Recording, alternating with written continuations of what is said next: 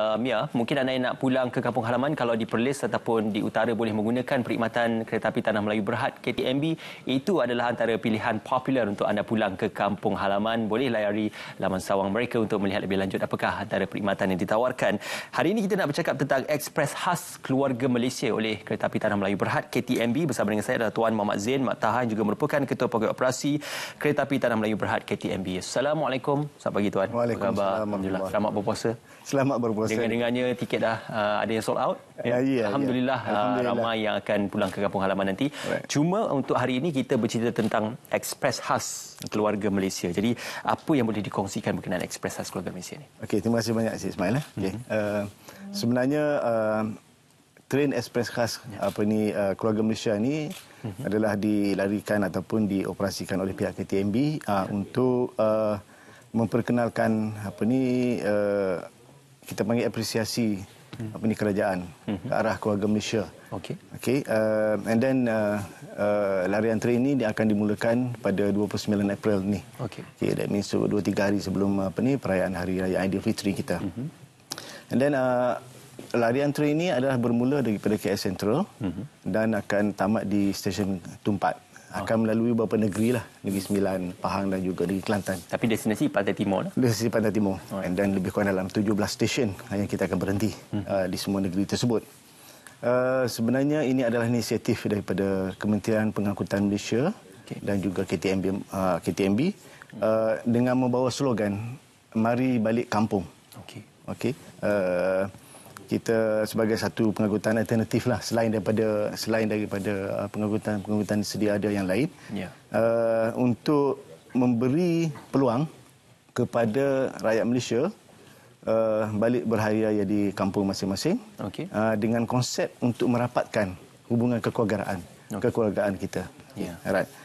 Um, sebenarnya kita tahu Encik Mai lah bahawa kita baru habis apa ni uh, ber, ber, berpindah dalam apa ni uh, proses pandemik mm-hmm. kepada endemik dan juga uh, beberapa bencana yang kita hadapi sebelum ini iaitu bencana banjir dalam tempoh lebih kurang dalam dua tahun. Uh, jadi peluang pada tahun ini untuk balik apa ni berhari raya hmm. bersama-sama dengan keluarga amat dinanti-nantikan yeah. oleh uh, para para apa ni uh, especially uh, apa ni perantau lah uh, yang berada di Kuala Lumpur dan juga sekitar di Lembah Kelang. Mm-hmm. Um, untuk makluman juga apa ni train ni akan berlepas uh, ha, jadual perjalanan dia adalah ber, bermula daripada Kuala Lumpur uh, ataupun KL Central mm-hmm. pada jam 11 malam. Okey pada tarikh 20 pada tarikh 29 hari bulan April. Mm-hmm. Kita kita uh, menjalankan inisiatif ini uh, di mana sebelum ini tidak ada hmm. uh, perkhidmatan secara apa ni uh, direct uh, hmm. daripada KL ke ke Tumpat. Hmm. Jadi uh, pihak Kementerian Pengangkutan telah berbincang dengan apa ni KTMB uh, untuk mengadakan servis tersebut. Sebabkan apa ni untuk uh, memberi peluang kepada penduduk Lembah Kelang untuk ke Kelantan hmm. dan juga Pahang uh. Okay. Jadi uh, daripada pukul 11 and dia akan tiba di apa ni tempat keesokan harinya. Okey. Alright. Nah. Mm-hmm. Ya. Maknanya kita boleh kata uh, mari balik kampung dengan KTMB. Ya. Ha, lebih tepat lagi.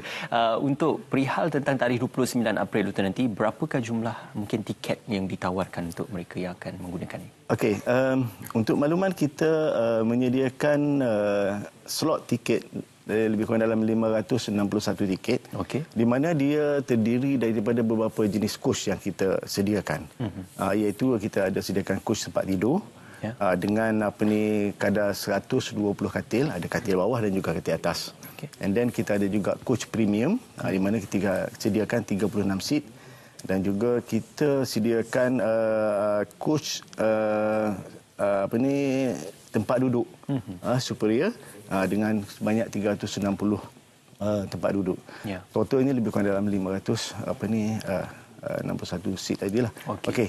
Um, di samping itu hmm. kita juga ada menyediakan coach uh, kantin hmm. uh, untuk para apa ni uh, penumpang kita uh, bersahur nanti uh, dan juga uh, menyediakan apa ni uh, mendapatkan makanan-makanan semasa perjalanan. Okey. Dan yang yang untuk train khas apa ni keluarga Malaysia kita ada sediakan satu coach yang kita panggil coach Shilek. Hmm. Ha, di mana uh, uh, ruangan coach itu dikosongkan. Okey. Ha, jadi uh, semua jadi penumpang-penumpang kita boleh menggunakan coach tersebut untuk uh, beristirahat dan juga uh, melakukan apa ni uh, solat tarawih oh. uh, di atas train tersebut. Uh, dan juga uh, apa ni uh, apa ni uh, uh, apa ni bersembah ataupun bersolat untuk hmm. solat-solat yang lain juga hmm. uh, semasa perjalanan. Uh, sebabkan perjalanan kuat apa ni panjang, panjang sikitlah. Ha itu. Masya Allah, itu pengalaman yang julung-julung kali dirasai bersolat terawih di dalam uh, kereta api. Yeah. Jadi, um, apakah ini juga berkaitan tentang uh, ya mungkin ada yang terlepas untuk membeli tiket sebelum ini untuk pulang ke kampung halaman? Apakah ini sebagai salah satu inisiatif tambahan bagi membantu dan juga menyediakan kepada mereka yang mungkin terlepas untuk mendapatkan tiket uh, pada tarikh sebelum ini? Okey, uh, kita telah me, apa membuka jualan tiket pada 15 April yang lepas hmm. uh, dan alhamdulillah Alhamdulillah setakat ini cuma lah. Ya. Kita uh, dalam tempoh lima hari uh, uh-huh. sampai 20 hari bulan ke semua tiket-tiket untuk kurs-kurs yang dinyatakan tadi ya. uh, telah habis dijual.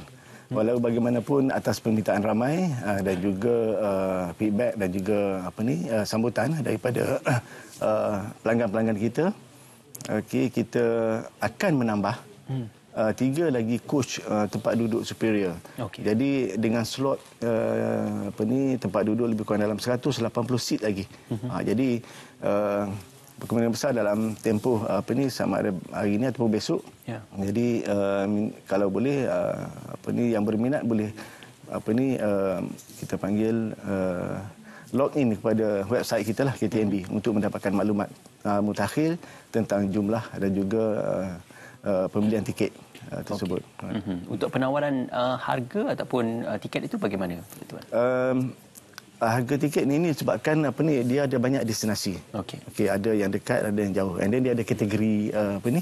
Kategori uh, kelas yang yang dia tawarkan. Hmm. Jadi kita sarankan supaya uh, juga login pada website kita KTMB uh, www.ktmb.com.my. Hmm. Uh, jadi sebenarnya uh, di dalam ada dalam sistem tersebut uh, para pengguna akan dapat melihat ya. berdasarkan kepada destinasi yang mana pilihan yang pilihan mereka dan dia akan dapat keluarkan apa ni kadar tambahan tersebut. Mm-hmm. Tuan uh, menyedari hakikat berkenaan tentang setiap kali musim perayaan um, semua mood pengangkutan akan laku keras ya akan uh, sentiasa yeah. sold out dan Betul. akan sentiasa menjadi pilihan mm. untuk pengangkutan dan penggunaannya. Jadi apakah pihak uh, KTMB juga caknakan isu ini untuk kita melihat uh, mungkin akan ada penambahan trend ataupun penambahan mood-mood um, untuk menyediakan bagi pengguna-pengguna yang mungkin tertinggal ataupun terlepas mendapatkan suatu tiket itu mula dibuka. Alright. Okey uh, untuk perkhidmatan yang biasa yang kita hmm. adakan uh, kita ada macam uh, kalau untuk ke Pantai Timur hmm. kita ada perkhidmatan ETS kita daripada Kuala Lumpur sehingga ke Gemas. Okay. Di mana penumpang juga boleh menggunakan uh, perkhidmatan tersebut untuk ke Pantai Timur dengan Uh, membuat transit di Gemas dan menggunakan perkhidmatan ya. train uh, tempatan kita uh, daripada Gemas sehingga ke Kuala Lipis dan Kuala Lipis hingga ke Tumpat uh, di mana perkhidmatan itu disediakan dengan perkhidmatan apa ni train baru kita uh, DMU servis kita. Okay. Uh, jadi uh, penggunaan ataupun apa ni pengguna jikalau memang memang apa ni uh, terlepas untuk membeli tiket-tiket yang lain uh, boleh menggunakan perkhidmatan tersebut and then uh, itu sebagai satu lagi alternatif untuk dia orang balik kampung lah. Okey. Uh, dan jadi, dan di samping itu juga uh, selain daripada perkhidmatan ke Pantai Timur, kita ada juga membuat train tambahan okay. uh, untuk perkhidmatan train ETS kita uh-huh. daripada Kuala Lumpur sehingga ke Padang Besar. Okay. Okay, kita ada buat penambahan train uh, satu trip satu hari untuk naik dan satu trip turun daripada Padang Besar ke Kuala Lumpur. Uh-huh. Jadi uh, jumlah tiket yang kita tawarkan dalam tempoh 29 April bermula 29 April juga sehingga ke 2 Mei untuk pergerakan uh, daripada Kuala Lumpur Padang Besar Kuala Lumpur sebelum hari raya okay. dan juga selepas hari raya pada 6 Mei, 6 Mei. sehingga uh, 8 Mei itu hmm. selepas pada hari raya untuk dia orang balik semula ke Kuala Lumpur hmm. and then uh, jumlah tiket yang kita tawarkan pada apa ni sektor tersebut lah, untuk yeah. tersebut lebih kurang dalam 4600 uh, tiket hmm. uh, untuk pergerakan train khas selain daripada uh, 32 trip yang kita tawarkan pada okay. satu hari dalam masa satu hari. Satu hari daripada okay. KL ke Padang Besar dan juga ke Batu Berh. Okey, insya-Allah KTMB sentiasa menyediakan perkhidmatan yang terbaik untuk insya juga.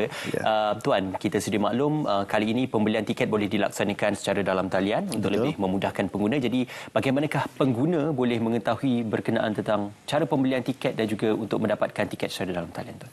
Okey, uh, uh, semua uh, apa ni pengguna boleh uh, download aplikasi aplikasi tiket kita kita namakan sebagai apa ni KTMB Integrated Ticketing System ataupun KITS short form dia untuk KITS uh-huh. uh, di mana you boleh uh, uh, menggunakan aplikasi daripada Android ataupun iOS uh-huh. and then uh, dan juga daripada website kita and then you boleh log in kepada sistem kit uh, melalui komputer lah Uh, daripada situ uh, proses dia amat mudah and then uh, kita just pilih destinasi and then dia akan keluarkan apa ni uh, destinasi yang yang diperlukan dan juga kategori apa ni kelas yang kita nak nak nak perolehi. Hmm. Daripada situ pembayaran pun dibuat secara online. Uh, jadi amat memudahkan sekarang.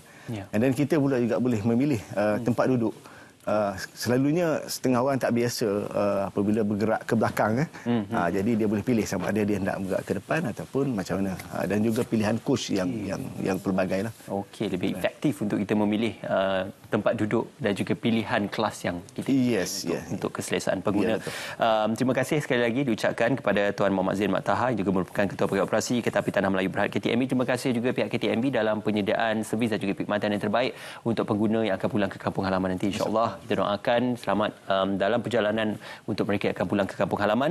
Seterusnya kita nak ke cerita